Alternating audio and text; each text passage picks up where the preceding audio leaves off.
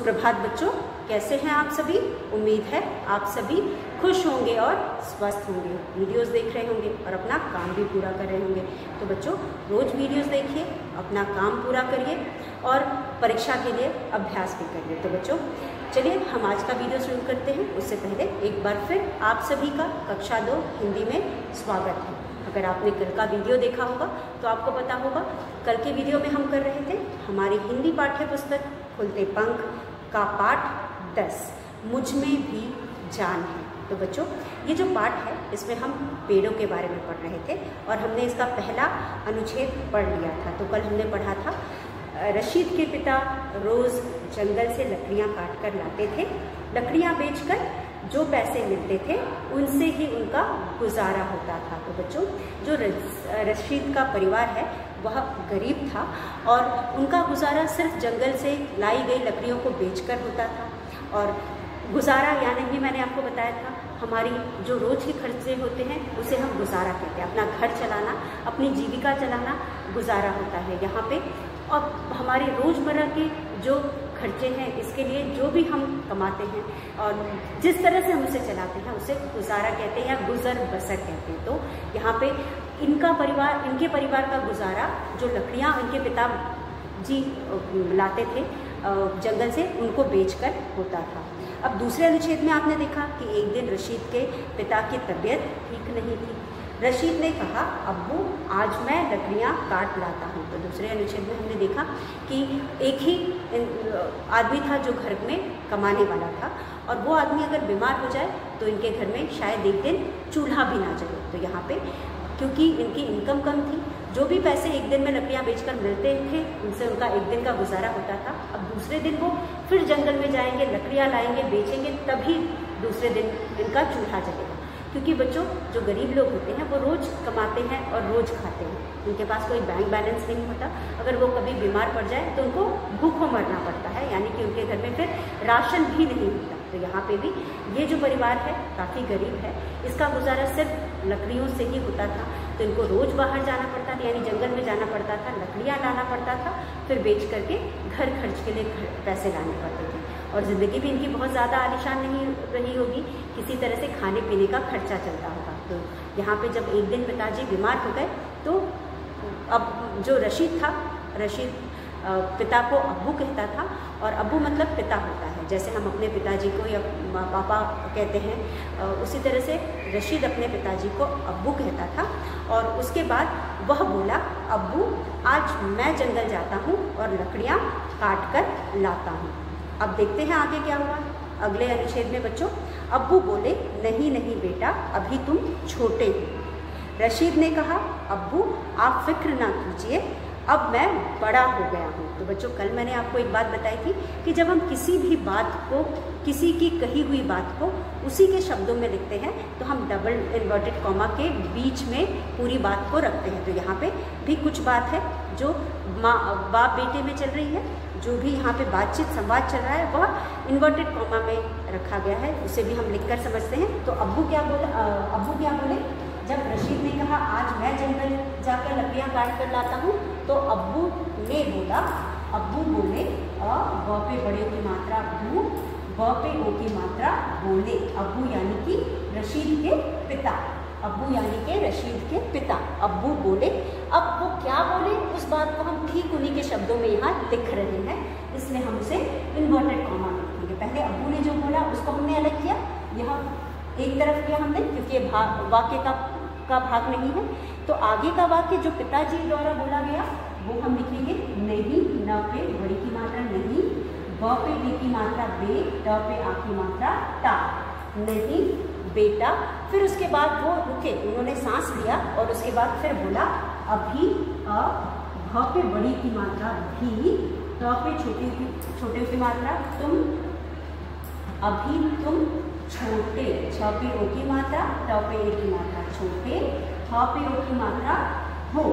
अभी तुम छोटे हो। तो हमने यहाँ पे देखा कि अब्बू ने बोला कि नहीं बेटा, अभी तुम छोटे हो। अब ये पूरी बात अब्बू द्वारा बोली गई और उन्हीं के शब्दों में हमने इस बात को यहाँ पे लिखा है। जो अब्बू ने बोला, उनकी बात और उन्हीं के शब्दों में हमने लिखा है। इसलिए हमने यहाँ पे पूरी बात को डबल इन्वर्टेड कॉमा के अंदर रखा है। जिस तरह से अब्बू ने बात को कही थी, उन्हीं के शब्दों में हमने यहाँ लिखा है। इसलिए इस पूरी बात को हमने डबल इन्वर्टेड कॉमा के अंदर रखा है। उसके बाद अब्बू के अब्बू ने इतना कहा और इतना कहने के बाद रशीद ने क्या कहा? रशीद ने कहा, रशीद, र पर बड़ी की मात्रा, शी, द, रशीद, न पे ए की मात्रा ने कहा। रशीद ने कहा अब रशीद की बात ने कहा तो कॉमा से हम अलग करेंगे। उसके बाद जो रशीद ने कहा, उसकी बात हम यहाँ पे लिख रहे हैं। रशीद ने कहा, रशीद ने कहा, अब्बू आधा ब ब पे बड़े की मात्रा अबू कॉमा।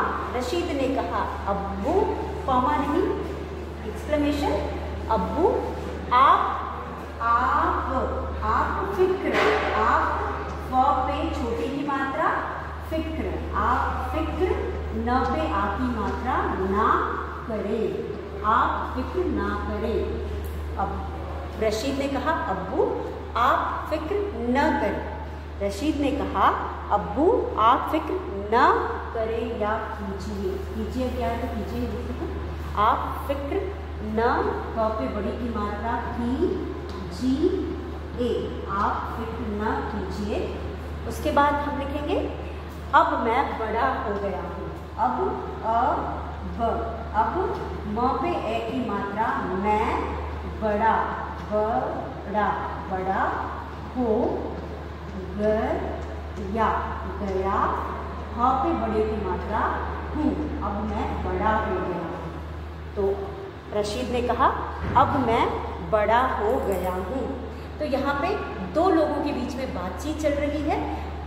अब्बू और रशीद। दो, जो दो लोग हैं, वो हैं अबू और रशीद। दोनों आपस में बातें कर रहे हैं। रशीद जंगल जाने की बात कर रहा है अबू से मना कर रहे हैं।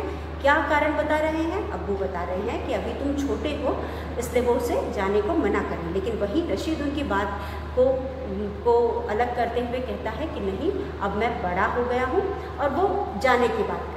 तो यहाँ पे बच्चों, दो लोगों की बात को हमने इन्वर्टेड फॉर्मा में रखा है, जैसे कि पहले अब्बू बोले, नहीं बेटा, अभी तुम छोटे तो ये अब्बू द्वारा कही गई बात है। और जिस तरह से उन्होंने कही थी उसी तरह हमने यहाँ पे रखा है, इसलिए इसको डबल इन्वर्टेड कॉमा के अंदर रखा। उसके बाद रशीद ने कहा, रशीद ने क्या कहा? अब्बू, आप फ़िक्र ना कीजिए, आप फ़िक्र ना कीजिए। अब मैं बड़ा हो गया हूँ। क्यों ना फ़िक्र कीजिए, क्योंकि अब मैं बड़ा हो गया हूँ, मैं जंगल जा सकता हूँ और वहाँ से लकड़ियाँ काट कर ला सकता हूँ। फिर अबू ने बताई फिर रशीद ने अबू को बताया कि अब मैं बड़ा हो गया हूँ, मैं आराम से जंगल जा सकता हूँ और लकड़ियाँ काट कर ला सकता हूँ। और इस पूरी बात को रशीद ने बोली इसलिए यहाँ से लेकर यहाँ तक। जिस तरह से रशीद ने बोली थी, उसी के शब्दों में बोला गया, इसलिए हमने उसको भी डबल इन्वर्टेड कॉमा में रखा है। उसके अलावा बच्चों, यहाँ पे आप देख सकते हैं अब्बू एक शब्द है जिसे आप, कठिन शब्द है, जिसे आप लिख करके अभ्यास कर सकते हैं। अ, आधा ब और ब पे बड़े की मात्रा अब्बू उसके बाद हमारे पास है रशीद र, हम पहले भी रशीद देख चुके हैं, लेकिन फिर भी एक बार आप लिख करके अभ्यास कर सकते हैं। उसके बाद है फ़िक्र। फ पे छोटी की मात्रा, फ़िक्र। अब बच्चों, यहाँ पे आप देख सकते हैं तीन शब्द हमने लिखा है, जिसमें से पहला शब्द है अब्बू। अब्बू शब्द का प्रयोग हमने पिताजी के लिए किया है, यानी पिताजी का मतलब अब्बू होता है। हम पिताजी को अब्बू भी कहते हैं। तो ये एक व्यक्ति के लिए इस शब्द का प्रयोग किया गया है, इसलिए अब्बू संज्ञा शब्द है। और उसके बाद रशीद भी लड़के का नाम है, ये भी एक व्यक्ति के लिए प्रयोग किया गया है। उसके बाद फ़िक्र फ़िक्र यानी चिंता करना, यह एक क्रिया शब्द है यहाँ पे फिक्स शब्द से हमें कुछ काम होने का पता चल रहा है, इसलिए ये क्रिया शब्द है तो ये दोनों आपके संज्ञा शब्द है और ये क्रिया शब्द है तो यहाँ पे हमने क्रिया और संज्ञा लिखा और इस तरह से इस पैराग्राफ में हमने देखा कि कब हम डबल इन्वर्टेड कॉमा का शुरू, का प्रयोग करते हैं और किस तरह से प्रयोग करते हैं। तो यहाँ पे जब भी किसी के द्वारा कही गई बात को ठीक उसी के शब्दों में हम लिखते हैं। तो उन, उन वाक्य को हम डबल इन्वर्टेड कॉमा में लिखते हैं। तो यहाँ पे बच्चों अब क्योंकि पिताजी बीमार थे पैसे आने ज़रूरी थे घर में क्योंकि अगर कोई नहीं जाता जंगल तो इनका खर्च नहीं चलता या इनका गुजर बसर नहीं हो पाता। इसलिए रशीद पिताजी को समझाता है और कहता है पिताजी अब मैं बड़ा हो गया हूँ मैं जंगल जा कर के लकड़ियाँ लाता हूँ। चलिए देखते हैं फिर क्या होता है। अब जो रशीद है, वह जंगल जाता है। रशीद लोहे की कुल्हाड़ी उठाकर चल दिया। लोहे की कुल्हाड़ी यहाँ क्यों कहा गया है बच्चों? क्योंकि लोहे की कुल्हाड़ी से ही हम लकड़ी काटते हैं। और जो रशीद के पिता थे, उनका काम ही था लकड़ियाँ काटना। तो वो किससे लकड़ियाँ काटेंगे? कुल्हाड़ी से काटेंगे। तो यहाँ पे आज रशीद जब जा रहा था तो यह भी इसीलिए जा रहा था। तो बच्चों, जैसा कि हमने देखा, इस अनुच्छेद में जो अब्बू हैं रशीद को मना करते हैं कि तुम अभी छोटे हो। तुम लकड़ी लेने नहीं जाओगे। लेकिन जो रशीद है, अबू को समझाते हुए कहता है कि अब मैं बड़ा हो गया हूँ, मैं जंगल जाऊँगा और लकड़ियाँ लेकर के आऊँगा। तो बच्चों, यहाँ पे हमने देखा कि किस तरह से जो रशीद है, अपनी ज़िम्मेदारी समझते हुए, अपने पिताजी को समझाने की कोशिश करता है कि अब मैं बड़ा हो गया हूँ, मैं जंगल जाऊँगा और वहाँ से लकड़ियाँ काट कर लाऊँगा। क्योंकि अगर वो जंगल नहीं जाएगा बच्चों तो उसे पता है कि उसके घर की का, उस दिन का गुजारा नहीं हो पाएगा। आप सभी जानते हो बच्चों कि मैंने आपको पहले भी बताया कि जो रशीद है, उसका परिवार गरीब था और वो लोग पूरी तरह से लकड़ियों पर ही निर्भर करते थे, जो रोज़ उसके पिताजी काट कर लाते थे और उसके बाद उन्हें बेचकर जो पैसे आते थे उसी से उनका घर चलता था। इसलिए रशीद को पता था कि उसे लकड़ियाँ लेने, जंगल जाना ज़रूरी है। वो अपने पिताजी को समझाता है और अपनी ज़िम्मेदारी समझते हुए वे अपने पिताजी की जगह लकड़ियाँ काटने, जंगल जाता है। तो चलिए अगले अनुच्छेद में पढ़ते हैं। तो बच्चों, इस तरह से आपने देखा, एक चीज़ और हमें यहाँ देखना है। ये जो फ़िक्र है, ये नीले रंग से लिखा हुआ है। यहाँ पे जो फ़िक्र लिखा है, ये नीले रंग से लिखा है। ये कुछ नया शब्द है आपके लिए, फ़िक्र यानी चिंता। हर माँ बाप को अपने बच्चों की चिंता होती है, क्योंकि माँ बाप के लिए बच्चे तो बच्चे ही होते हैं, हमेशा छोटे ही होते हैं। इसलिए जो अबू हैं वो रशीद की फ़िक्र करते हुए कहते हैं कि तुम अभी छोटे हो, तुम लकड़ियाँ लेने जंगल नहीं जाओगे, क्योंकि जंगल में बहुत जंगली जानवर होते हैं। पिताजी को लगा होगा, अब्बू को लगा होगा कि रशीद जंगल में जाएगा तो उसे किसी भी तरह की परेशानी झेलनी पड़ सकती है, या वो किसी भी तरह की परेशानी में पड़ सकता है, इसलिए उसके पिताजी उसे समझाने की कोशिश कर रहे थे कि तुम अभी छोटे हो, तुम नहीं जाओगे। लेकिन वहीं जो रशीद था, वो भी अपनी ज़िम्मेदारी समझ रहा था कि अगर एक दिन वह वह या उसके पिताजी लकड़ियाँ लेने नहीं जाएँगे तो उनके घर में चूल्हा नहीं जलेगा। तो इसलिए अपने पिताजी को समझाते हुए रशीद जंगल जाता है और वहाँ से लकड़ियाँ लेकर आता है। तो चलिए एक बार पढ़ते हैं। अब्बू बोले, नहीं बेटा नहीं बेटा, अभी तुम छोटे हो। रशीद ने कहा अबू आप फ़िक्र न कीजिए, अब मैं बड़ा हो गया हूँ। तो अब्बू ने पिताजी को समझाते हुए कहा कि आप मेरी फ़िक्र मत करिए, कीजिए, मैं अब बड़ा हो गया हूँ, मैं लकड़ियाँ, जंगल जाऊँगा और वहाँ से लकड़ियाँ लेकर आऊँगा। और दूसरी तरफ़ बच्चों, यहाँ पे जो फ़िक्र है, फ़िक्र यानी चिंता। चिंता यहाँ पे पिताजी को, यानी अब्बू को रशीद की चिंता हो रही थी, क्योंकि जंगल में अनेक प्रकार के जंगली जानवर होते हैं। और भी कई सारी परेशानियाँ जंगल में उसे पड़ सकती थी, क्योंकि आज तक वो कभी जंगल में गया नहीं था, इसलिए वो फ़िक्र कर रहे थे या चिंता कर रहे थे और उस नहीं चाहते कि, थे कि वह जंगल जाए। उसके बाद बच्चों, आपने देखा कि हमने दूसरा अनुच्छेद, तीसरा अनुच्छेद भी पढ़ लिया। अब हमारा अगला अनुच्छेद है। बच्चों, रशीद, जैसा कि हमने यहाँ पढ़ा, रशीद जंगल जाता है और लोहे की कुल्हाड़ी उठाकर चल देता है। आप सभी को मालूम है, लकड़ी काटने के लिए कुल्हाड़ी की ज़रूरत पड़ती है और वह कुल्हाड़ी लेता है और जंगल की तरफ़ चला, चल देता है। वह एक हरे भरे पेड़ के पास पहुँचा। बच्चों हरा भरा पेड़, यानी कि एकदम फल देने वाला पेड़, जिसमें हरी हरी पत्तियाँ हो, पत्तियों से भरा हो, छाया देने वाला पेड़, उसे हम हरा भरा पेड़ कहते हैं। तो यहाँ पे वह एक हरे भरे पेड़ के पास पहुँचा।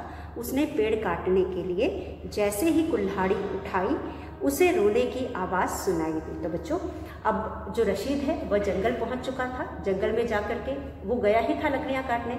इसलिए उसने एक हरा भरा पेड़ ढूंढा और पेड़ के को काटने के लिए उसने अपना हाथ उठाया यानी कुल्हाड़ी उठाई। और जैसे से ही उसने कुल्हाड़ी उठाई, उसे कहीं से रोने की आवाज़ सुनाई दी। अब बच्चों जब उसे रोने की आवाज़ सुनाई दी तो रशीद ने इधर उधर देखा मतलब उसने अपने चारों तरफ़ देखा, पर उसे कोई दिखाई न दिया। उसने अपने चारों तरफ़ देखा, लेकिन उसे कहीं कोई दिखाई नहीं दिया। रशीद ने दोबारा कुल्हाड़ी उठाई तो फिर किसी के रोने की आवाज़ आई। जब रशीद ने दोबारा कुल्हाड़ी उठाई तो फिर किसी के रोने की आवाज़ आई, और रशीद डर गया। जब एक बार हुआ, उसने देखा, और फिर उस अपने काम में लग गया, लेकिन फिर दोबारा जब उसने कुल्हाड़ी उठाई फिर रोने की आवाज़ आई तो रशीद, डर गया, क्योंकि बच्चों, बच्चा ही था, उसे ऐसा कोई अनुभव नहीं था। उसने दोबारा आवाज़ सुनी तो वह डर गया, रशीद डर गया, वह, पर वहाँ कोई नहीं था। उसने फिर चारों तरफ़ देखा होगा, उसे वहाँ पे कोई नहीं दिखाई दिया। तो बच्चों, इस तरह से, सबसे पहले तो रशीद जंगल गया और जंगल में जा कर के उसने एक हरा भरा पेड़ ढूंढा। हरा भरा का मतलब मैंने आपको बताया कि ऐसा पेड़ जिसमें खूब हरे भरे पत्ते हों, यानी कि एकदम पेड़ फल देने वाला हो, उसमें फल हो या फल नहीं हो तो पत्तियाँ हो और एकदम छायादार पेड़ हो, उसे हम हरा भरा पेड़ कहते हैं। अब उस पेड़ को काटने के लिए जब उसने अपनी कुल्हाड़ी उठाई तो उसे रोने की आवाज़ सुनाई दी। पहले तो उसने एक बार उस आवाज़ पर ध्यान नहीं दिया इधर उधर देखा। जब उसे किस, कोई नहीं दिखाई दिया तो उसने ध्यान नहीं दिया। लेकिन फिर जब वो दोबारा कुल्हाड़ी उसने उठाई पेड़ काटने को तो फिर से उसे आवाज़ सुनाई दी और दोबारा आवाज़ सुन करके वो डर गया और फिर उसने जब इधर उधर देखा तो उसे कोई ना दिखाई दिया। तो बच्चों, आज हमने जो तीन पैराग्राफ पढ़े हैं, अनुच्छेद पढ़ा है, आप तीनों को पढ़ लीजिएगा और पढ़ करके फिर हम एक बार करके वीडियो में मिलेंगे। तब तक के लिए धन्यवाद। आपका दिन मंगलमय हो।